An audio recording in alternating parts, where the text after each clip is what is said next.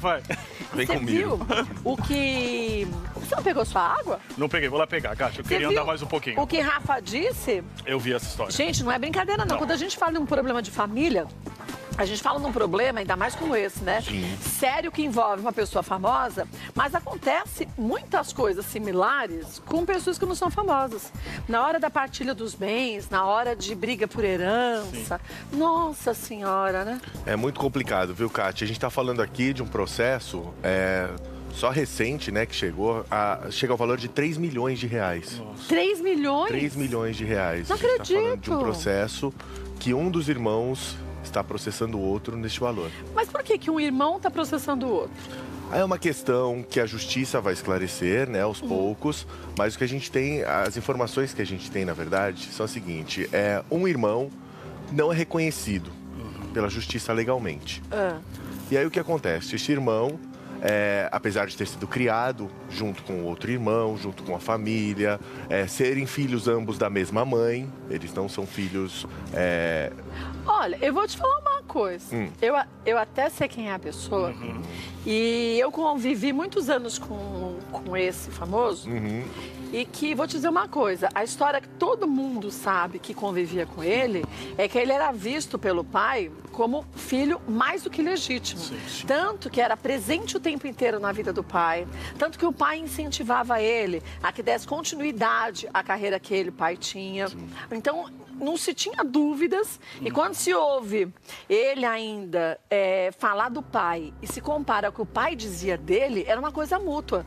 E o mais engraçado, pode não ser filho de sangue, mas é muito mais parecido Muito mais. de talento e fisicamente do que qualquer outra pessoa que possa ter ali uma. uma uma, Alguma coisa uma bi- genética, vai, que seja filho de que seja. sangue, vamos É, chamar é, assim, não é? Sim, sim. E esse filho, é, inclusive, ele canta muito. Verdade. Canta é um demais, excelente gente. cantor.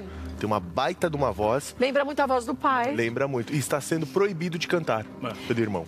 Então, o irmão proibiu ele de cantar as músicas do pai, mas alegando o quê? Pedindo, na verdade, dinheiro, alegando que ele não teria esse direito. Esse direito. Eu acho que tem uma Entendeu? história por trás desse pano, que é a questão fato, né? Que é o dinheiro e a questão ali do, do direito ou não direito. Mas a gente olhando essa história hoje, quando a gente caiu com essa história, essa bomba hoje que a gente está trazendo aqui, Kátia, a gente percebe que tem uma relação de angústia, de dor, de tristeza, Tem. de ai, o outro era mais querido. Por tudo isso que você Não falou. tem uma relação de ciúme? Esse É a palavra. É, Eu assim, acho. é se colocar, às vezes, num lugar que, e por que não sou eu? Por que seria eu? E aí e não é. E aí a vida, às vezes, dá pra gente aparências, talentos, né? Que, que- que é, que é maior do que o sangue. Que é maior causa ciumeira pro É. outro. Exatamente. Vamos fazer o seguinte, vamos pro intervalo, porque na volta, vamos falar com essa pessoa, ele vai dizer o que tá acontecendo, e aí Rafa vai contar o resto da história, porque é longo. Se é. É muita encrenca pra uma pessoa só. Dois minutos, até já.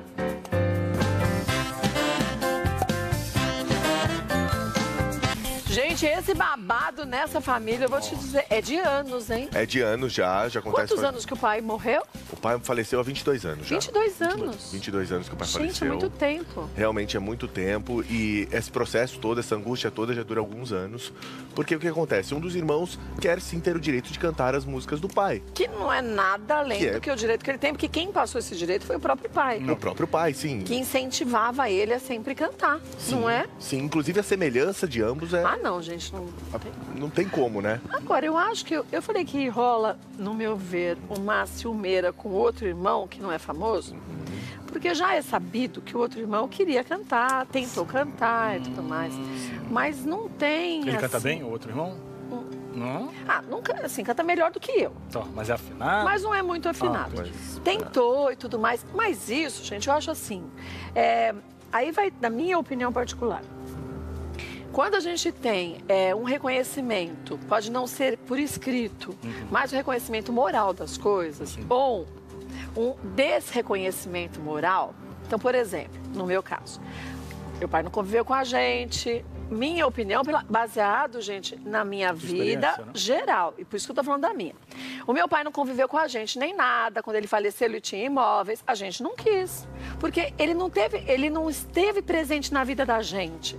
Nós quatro, eu e meus irmãos, achamos por direito que se ele não quis conviver com a gente daquela forma, como, né, seria o cotidiano, uhum. então a gente não se sentia à vontade de ficar com uma parte de um patrimônio que, que não interessava pra nada, gente, porque a gente não conviveu com ele. Uhum. Então, por isso que eu falei, direito moral. A gente se achava num direito, é, se fosse um direito legal, a gente teria, mas não era um direito moral. Direito moral é que ficasse com quem esteve com ele o tempo inteiro, Sim. que foi a esposa dele, a mulher dele. Então, nós quatro abrimos mão por isso. Por isso que eu estou falando, da minha opinião, direito moral e direito legal. Cada um age como quiser. Se meus irmãos, uma parte deles quisesse, ia falar, fechou. Então, aí que eu acho que a gente tem que sempre buscar ser justo, porque se eu reconheço o Alex vai como meu filho, não importa se ele está lá reconhecido é, juridicamente ou não. Né? Uhum. Se meu pai reconhecesse um outro filho qualquer como filho dele, fechou, era filho. Sim. Não é só a justiça que faz valer as coisas, né? Exatamente, tem que botar completa de razão. É isso. Volta e a gente vai falar já com ele. Peraí. Bom, essa é uma história que se arrasta por um bom tempo. Se arrasta por um bom tempo. E segundo informações, inclusive de bastidores, tá? Que eu hum. já ouvi por aí, é, é, que um dos irmãos, né, esse irmão, teria muita inveja do outro irmão. Hum. E esse seria um dos motivos. Mas será que não? Porque justamente o pai reconhecia esse irmão famoso em shows, em programas de televisão, para todo mundo, como se, ah, esse é meu filho, uhum. e que é extremamente talentoso, e o outro buscava, talvez, não digo só cantar muito térrimo bem, mas talvez o reconhecimento Essa... do pai pai, é, de também falar, esse é meu filho e é, esse também é meu filho. E talvez o pai famoso, que já faleceu, não, rolou, né? não tenha feito não, isso porque... Mas eu acho que também é uma, uma, uma tendência natural, né? Sim. O pai é cantor, o filho segue os passos, é cantor sim, também, sim. é óbvio que o, fa... que o pai vai ali, né? Sim, mas vai... o outro também queria ser cantor. É, mas se, igual mas você disse, querer, querer não é poder. Sempre, eu né? queria também, mas não canto nada. Ah, eu adoraria. Não, tem pai que não passa a mão na cabeça, às vezes não percebeu que não dava, né? Falou, olha, vamos... Sim, né? então, mas eu acho que isso é o justo. Sim, é vida real, né? Eu acho que o justo é a gente incentivar os filhos da gente Sim. a irem atrás da realização Sim. dos seus sonhos. Mas você fala assim, então, você não é, não é tão bom quanto ele, mas você é bom. No, no, sua e isso né? faz parte. Você é muito melhor do que eu em muita coisa, o Rafa é muito melhor do que eu em muita coisa. É assim. E não é por isso que a gente vai ter ciúme um do outro, não. a gente se completa. Claro. Ele podia simplesmente, esse irmão, trabalhar até junto com o irmão famoso para conseguir crescer nesse sentido uhum. de um complementar o outro. Ah, uma dupla sertaneja, por exemplo, tem a primeira e a segunda voz. Já pensou se toda a segunda voz reclamar que a primeira voz tem mais destaque? Não faz aí sentido. Lascou, aí não dá. Não é? É verdade.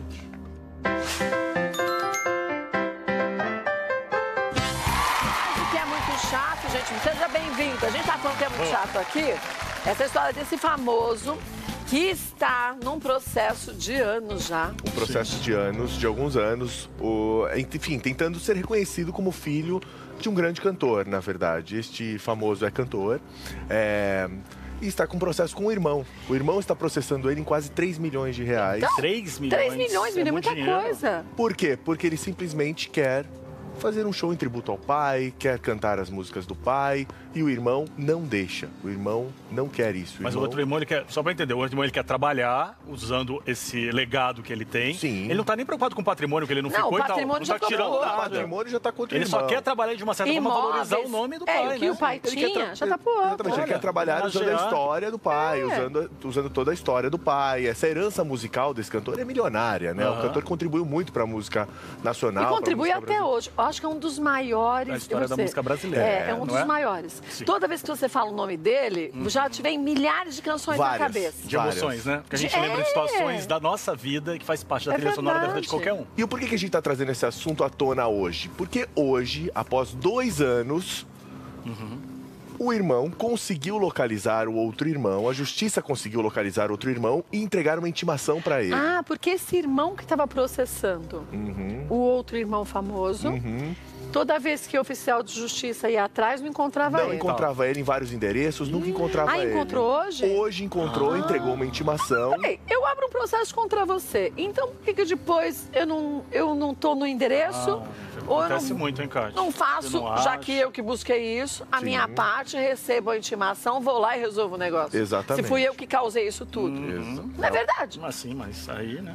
Pra você ver, esse famoso já há dois anos briga na justiça pra quê? Pra conseguir ser reconhecido legitimamente como filho deste cantor. Só pra ter direito de usar. Pra poder ter direito de usar e fazer um show em homenagem ao pai, usar. Então, além de tudo, o show era em homenagem, né? Sim, era um show em homenagem. Aliás, era um show incrível em homenagem. Era feito por Dia das Crianças, eu lembro. Era com músicas, com músicas, as músicas desse pai, músicas infantis. É, porque esse famoso pai Hum. Tinha muito disso. Tinha. As crianças, eu lembro, os meus filhos. Adoravam. Hoje, vai, o Felipe tem 27. Cantavam. Na época, não, canta até hoje. Não, mas na tem os época LP.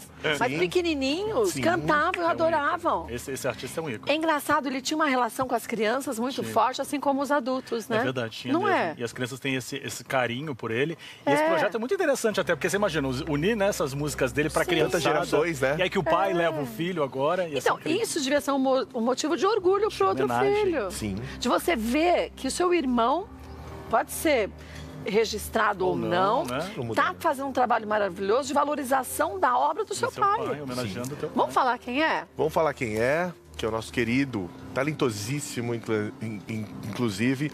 A gente tá falando do filho de um dos maiores músicos deste país, que é o Tim Maia. É, o filho tem, dele, Não tem como você negar, Léo né? Maia, é, que está aí tentando esse reconhecimento, na verdade, na justiça, né? Tá tentando conseguir isso, né? Olha, deixa eu ver se o Léo já tá com a gente. Léo, boa tarde, meu Ah, amigo. aí. Tudo bom? Como você tá? Saúde, tem paz. E você, minha querida? Estamos bem, mas ainda tristes com essa história que há anos a gente se encontrava, a gente falava, mas pra que isso? Vamos enaltecer o trabalho do pai, não é a melhor coisa? Pô, toda a vida eu fiz só isso, a minha vida inteira. Foi. Honrei meu pai, usei tudo que ele me ensinou, que é a minha profissão. Eu só fiz isso, trabalhar e exercer o que meu pai me ensinou. Nunca parei numa delegacia, nunca fui processado, nunca fiz mal a ninguém. Canto profissionalmente desde os 14 anos de idade. E canta profissionalmente desde os 14 anos de idade e sempre com muito carinho e não se comparando ao seu país, que eu achei sempre legal na sua postura de orgulho. Até ano passado, quando a gente fez aqui a especial, nosso, né? nosso especial de Ano Novo, e a gente colocou o Léo para cantar junto com o Tim, chorava igual uma criança. E a gente tudo chorando do lado, porque parecia que o Tim tava no palco junto. Foi. E a gente parece, ó, arrepia até hoje. Parece que é uma continuidade, Verdade. Não é um combate, né, para ver quem é melhor. Agora, Não, jamais. E até porque ele é melhor infinitamente, ele é meu mestre. Eu venho de uma, de uma história de amor. verdade. O meu pai amava minha mãe tanto, tanto, mas tanto, que o dia que ele descobriu que ela estava grávida, em vez de ignorá-la, de desconhecê-la ou de tratá-la como mal, enfim, pelo contrário, ele pediu para que ela viesse até ele e adotou a mim na barriga da minha mãe, com dois meses de gestação. Olha lá. Não é que eu tava já grandinho, bonitinho, não. Eu cheguei, ele foi ali, foi naquele momento de amor e cuidou de mim a vida inteira. Eu sou fruto da mesma mãe que meu irmão. Meu pai morreu faz 22 anos. Eu nunca corri atrás de nada que fosse do meu pai. De direito autoral, de nada. Nunca quis nada. Saí da casa do meu pai com esse violão. Essa é minha herança. Com isso eu fiz meu nome, criei meus filhos, trabalhei pra caramba. Eu tenho 12 álbuns, eu vou pro meu 13 terceiro agora pela Olha. trama da minha carreira. Eu, eu gosto de cantar as músicas do meu pai. Eu, eu aprendi a tocar nelas, né?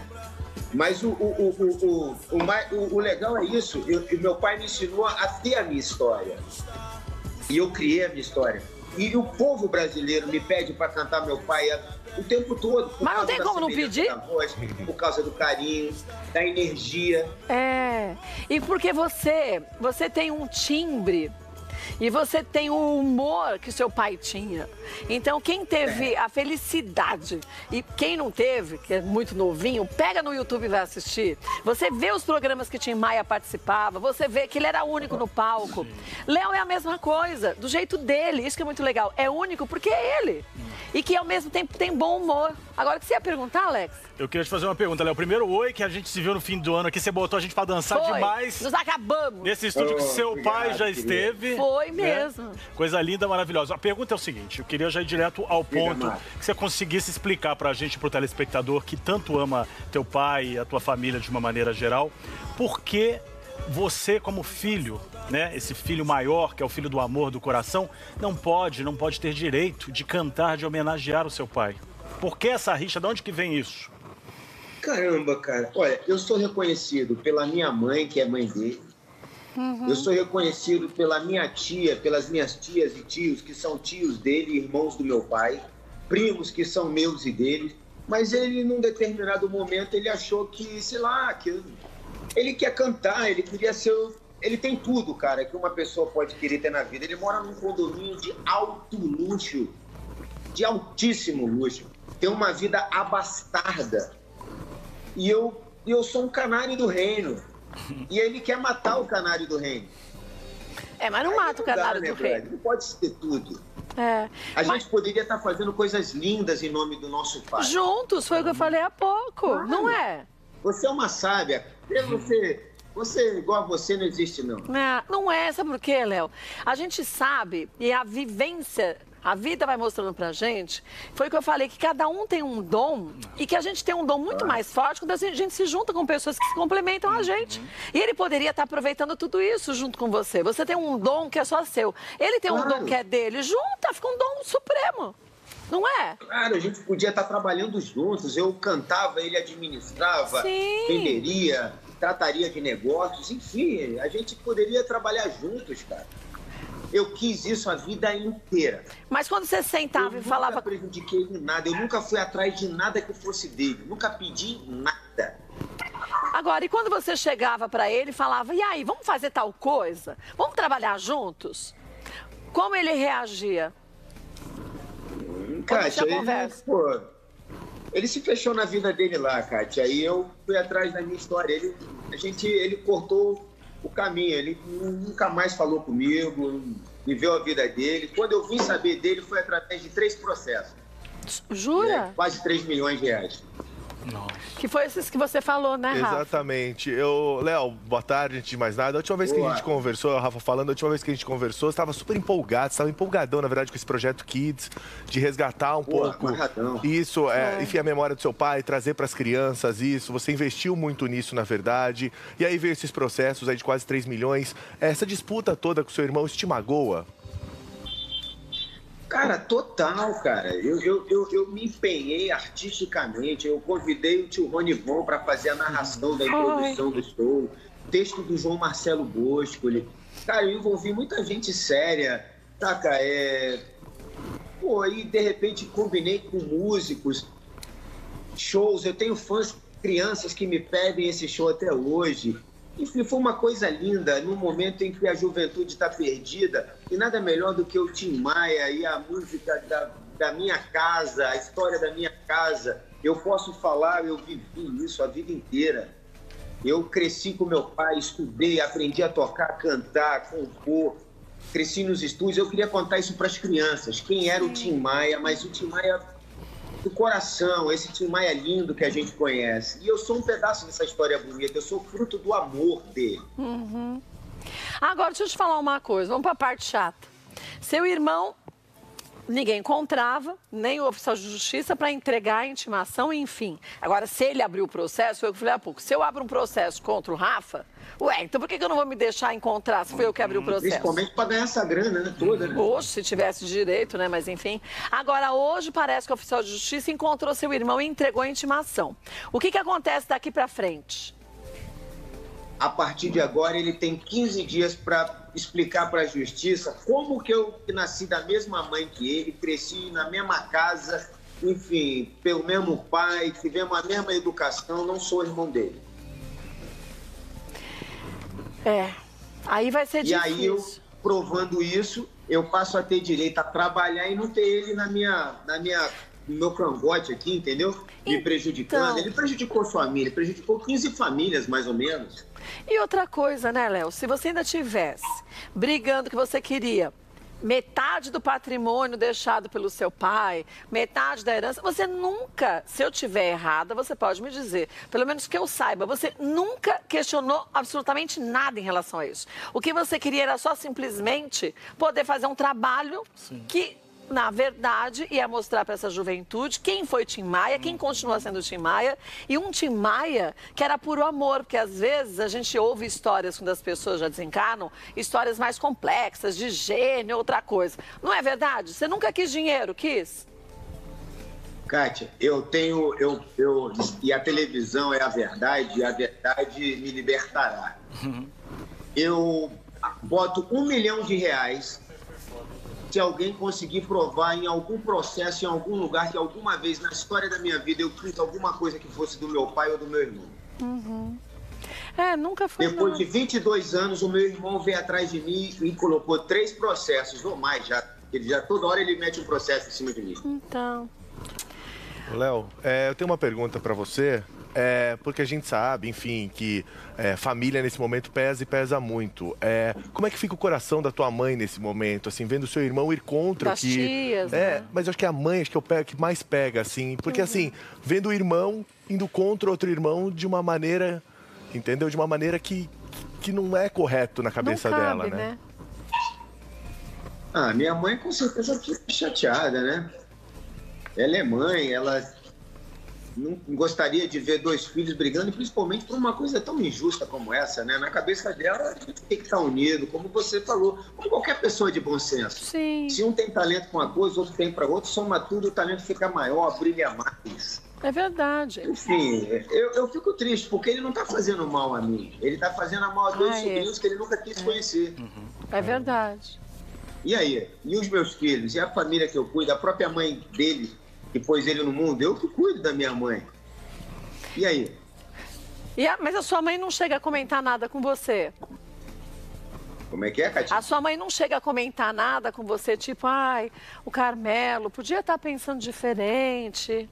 Claro, não, minha mãe já tentou falar isso com ele. Tentou e não Tentou adiantou. pedir para ele parar com esse negócio, me deixar em paz. Lógico, a minha mãe tentou. É porque às vezes a mãe também, ela fala uma vez e depois ela fica só assim, ah, pensa bem. Porque senão vira um outro conflito, né, muitas vezes. Isso toda a família tem, gente. Sim. Pode não chegar numa parte de um processo, mas que tem conflito, não, pô, tem. Catinha, na moral, o cara tá morando num condomínio não, sim. de altíssimo luxo. Mas acho que aí não entra dinheiro, Léo.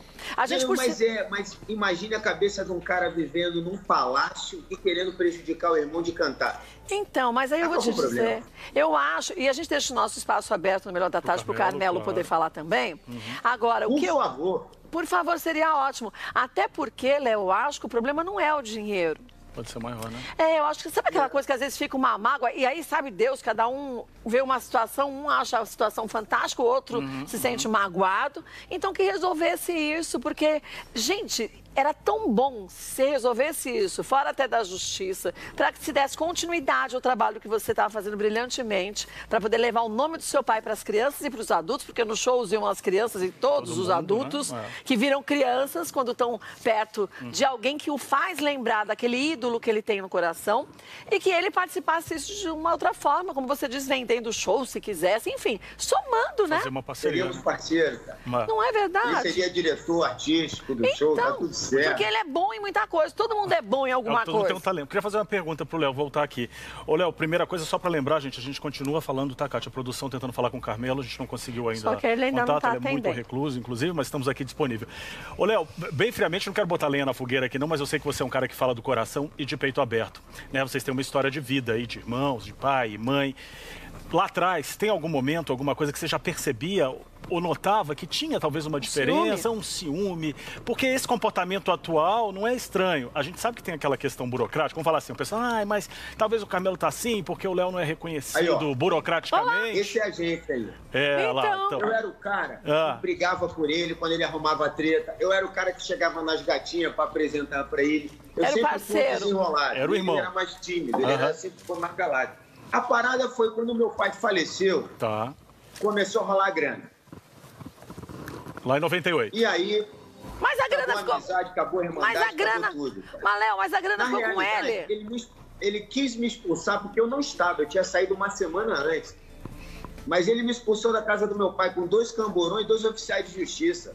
Ele Falaram para mim o que não estava lá. Ô, Léo, ele queria, você acha que ele queria ter o seu talento para música ou ele queria ter o amor do seu pai igual você teve? Mas, mas ele também teve o amor do não pai. Sei, às vezes. O que, que você sente ah, no seu meu coração? Meu pai amou os dois. Igual? É. é. Olha que ele não foi amado orgulho. meu pai. Meu pai brigou por ele a vida inteira.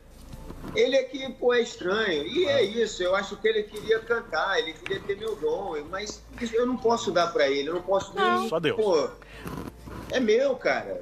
Mas Deixa não... eu viver minha vida em paz. É, Fica mas... com tudo que você tem, vai ser feliz, brother. Continua mas... sua vida no castelo de Grayskull. Mas ao mesmo tempo. Vai, segue na boa. Sim, mas ao mesmo tempo ele tem um talento. Se ele tem todo esse patrimônio há 22 anos, o talento dele é nato para administrar dinheiro. Não, não jogar então vai trabalhar junto. Olha só, Léo é um fantástico cantor, mas talvez não administre dinheiro tão bem. Aí chega a Carmela, que administra dinheiro muito bem, pronto, você juntou os dois. Né, Rafa? Resolveria. Agora, Léo, eu tenho uma pergunta para te fazer aqui. É, muita gente diz e especula, inclusive no nosso, no nosso Instagram aqui, tá muita gente questionando isso, que o ódio do Carmelo por você seria pelo seu talento musical. O que, que, você acha disso? Ele desenvolveu esse ódio mesmo por você ter esse brilho, essa luz, essa estrela que você tem e ele talvez não? Cara, é isso, cara. Eu, eu, eu, eu não posso falar por ele, né, cara? Mas eu acredito que ele deva se sentir mal para fazer essa maldade toda contra mim a troco de nada. Pra... Entendeu? Agora ele pôs em risco tudo que ele tanto estima. Taca todo esse patrimônio, todas essas coisas, ele fica agora, ele deve estar. Tá, eu não, não tô nem aí. Meu. Eu nunca precisei. Eu canto, eu faço 15, 20 shows por mês. Mas tô você... legal, tô, tô de boa. Mas você é uma alma livre, é outra questão. É. Você não é um passarinho preso. Isso, não, não. Eu sei que não, te conheço não. milhares de anos. Muito pelo contrário. Você é minha irmã, você sabe. Ô, Catinha, fala a verdade, eu não sou batalhador. Não, não tu... cheguei aqui sem eira nem beira. Não, tu é batalhador, você é dedicado. Se a gente liga e fala assim, ai, Léo, preciso da tua, da tua ajuda. Fala, fala, onde e quando?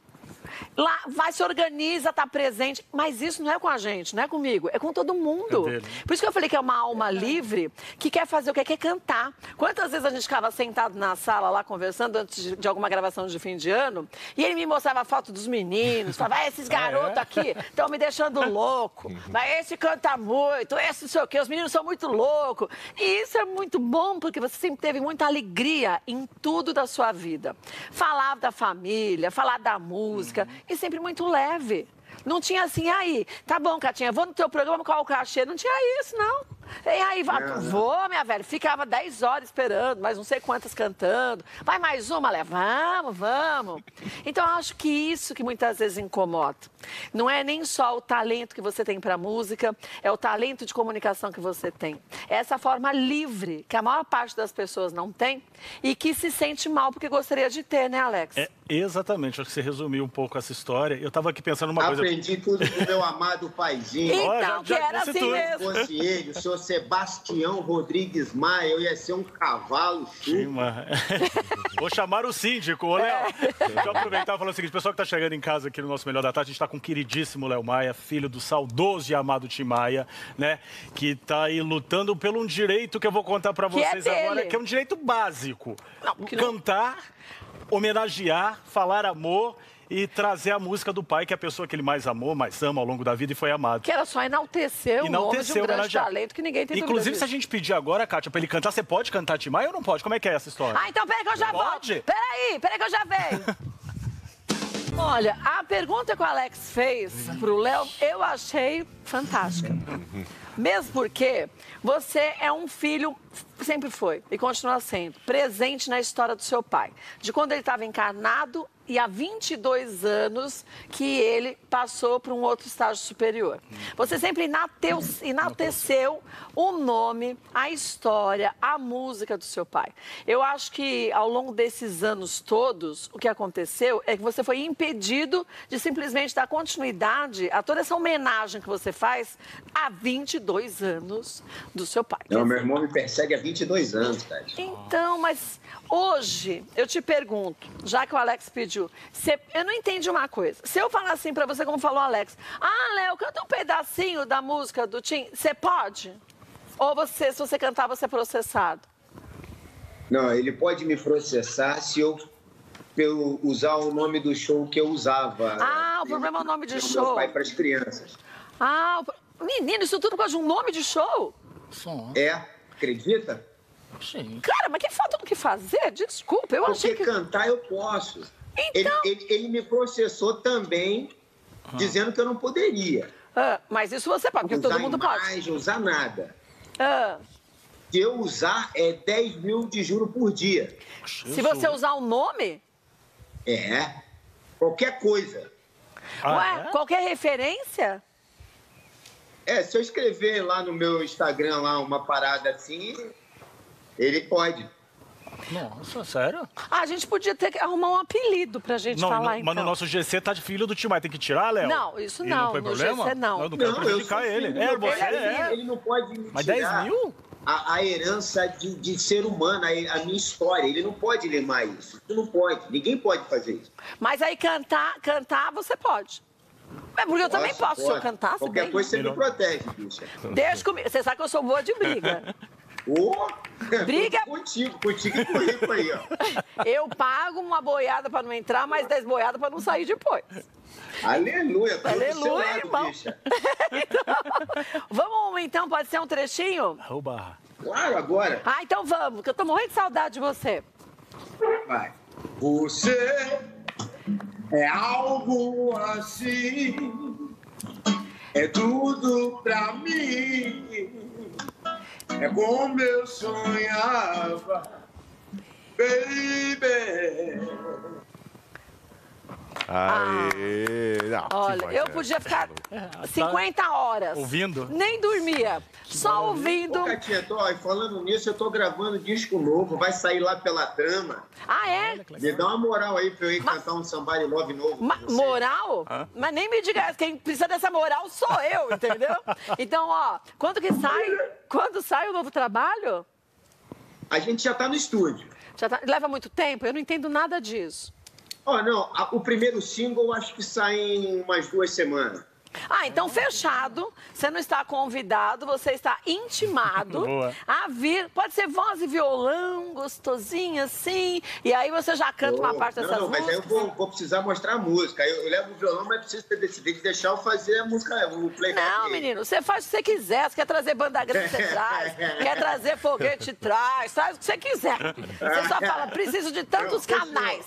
E aí a gente arruma aqui, tá bom? Olha, meu amigo, vou te dizer uma coisa. Espero que Carmelo se conscientize um pouco, comece a pensar o quanto que se unir é muito mais fácil do que se desgregar a família, separar a família. Nosso espaço está aberto para o Carmelo a hora que ele quiser falar também. E a melhor coisa, gente, é isso: é a gente somar e nunca subtrair. Um beijo, viu, meu amigo? Sabe que a gente te ama, né? Beijo, Catinha. Beijo. feliz dia dos pais para todos os pais é brasileiros. verdade. Inclusive o meu irmão, que ele também é pai. Então. Beijão, meu brother. Vamos, pô, se quiser trocar uma ideia e falar comigo, tô de coração aberto. Verdade. Um beijo, viu? Beijo nos meninos que estão gigantes. Ei, obrigado. Beijo. Então, sim. É. Ele canta Ai, muito, gente, né? ele canta demais, esse menino é maravilhoso. E é uma pessoa, gente, muito do bem. E é isso eu vou te dizer que junta tudo. Grande talento e, além do mais, também um grande, mas grande homem aí na vida de muita gente.